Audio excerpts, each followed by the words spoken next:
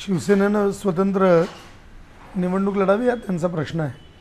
आणि तशी दोन हजार चौदाची निवडणूक आम्ही स्वतंत्र लढलोच होतो.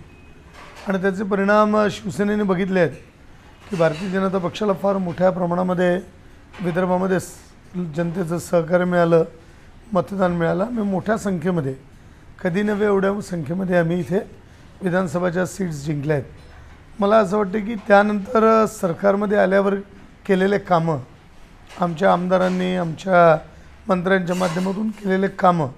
आणि विदर्भाचा मुख्यमंत्री म्हणून विदर्भाकडे विशेष दिल्या गेलेलं लक्ष या सगळ्या आधारावर मला असं वाटत नाही की कुठेही विदर्भामध्ये शिवसेना स्वतंत्र लढली तर त्याचा काही परिणाम होईल का? कारण दोन हजार चौदामध्ये ती स्वतंत्र लढलीच होती. बघा असं आहे धडपड त्यांनी त्यांची करावी.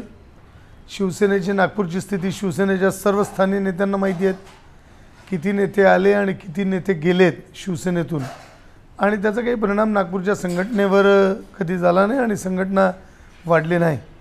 हा जो काही प्रकार आहे त्यांनी योग्य त्या पद्धतीनं त्यांच्या पक्षाचा निर्णय घ्यावा. पण मला असं वाटतं की नितीन गडकरी मागच्या वेळेला निवडून आलेल्या मतांपेक्षा अधिक मोठ्या मतांनी निवडून येतील. कारण त्यावेळेला ते पहिल्यांदा निवडणूक लढले लोकसभेची तेव्हा आम्ही जुनं अंतर भरून जवळपास तीन लाखांनी निवडून आलो होतो.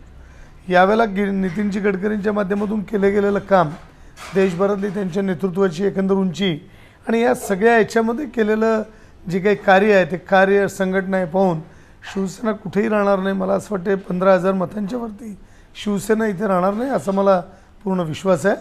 आणि भारतीय जनता पक्ष ही निवडणूक किमान पाच लाखाच्या अंतरानं जिंकेल हे देखील मी जाहीरपणानं सांगू शकतो. मला स्वतःला शिवसेना ही विरोधी पक्षाची जागा घेईल असं वाटलं होतं. जेव्हा ते राजीनामाही खिच्यात घेऊन वगैरे जात होते.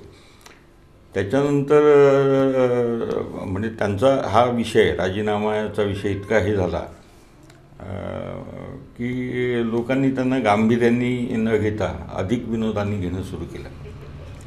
मधल्या काळामध्ये इथे विदर्भात विरोधी पक्षाची एक पोकळी जी आहे ती भरून काढण्यासाठी इथे राष्ट्रवादीनी एक प्रयत्न केलेला दिसतो.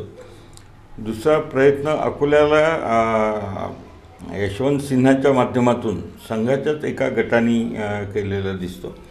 पण मला स्वतःला असं आता वाटतं की भाजपाला इथे शिवसेना आव्हान देण्याच्या ऐवजी काँग्रेसच आव्हान देण्याची एक शक्यता आहे. याचं कारण असं की नाना पटोलेंनी काँग्रेसमध्ये केलेला प्रवेश ओ बी सीचं त्याला असलेलं बॅकिंग. आणि तिसरा मुद्दा असा आहे की इतर कोणालाही विरोधी पक्षाचा पर्याय म्हणून स्वीकारण्याच्या ऐवजी काँग्रेसलाच विरोधी पक्षाचा पर्याय म्हणून स्वीकारण्याची एक मानसिकता थोडी बहुत होताना दिसते. ती गुजरातमध्येही ज्या पद्धतीने भाजपला फाईट दिली त्याच्यावरून दिसते. आहे नांदेडमध्ये महानगरपालिकेमध्ये ज्या पद्धतीने काँग्रेस म्हणजे भाजपने जंगजंग पछाडलं असताना सुद्धा निवडून आली त्याच्यावरूनही काँग्रेसच्या बाजूने एक कल इथे जाताना दिसतो. आणि मुळात विदर्भ हा कधी काळी का काँग्रेसचाच बालेकिल्ला राहिलेला आहे. म्हणजे आता काँग्रेसला सोडून भाजपला स्वीकारलं आणि आता भाजपला स्वीकारून इथे परत काँग्रेसलाच एक विरोधी पक्ष म्हणून स्वीकारलं जाईल. त्यामुळे विदर्भात शिवसेनेचं काही आव्हान उभं होईल असं मला वाटत नाही. मागच्या वेळेसही विदर्भामध्ये ज्या काही सीटा आल्यात त्या मोदी लाटेमुळे त्या आलेल्या आहेत. म्हणजे भावना गवळीची सीट असो किंवा इतर आडसुळांची सीट असो त्यावेळेस ती लाट नसती तर कदाचित शिवसेनेचं इथे पानिपत झालं असतं.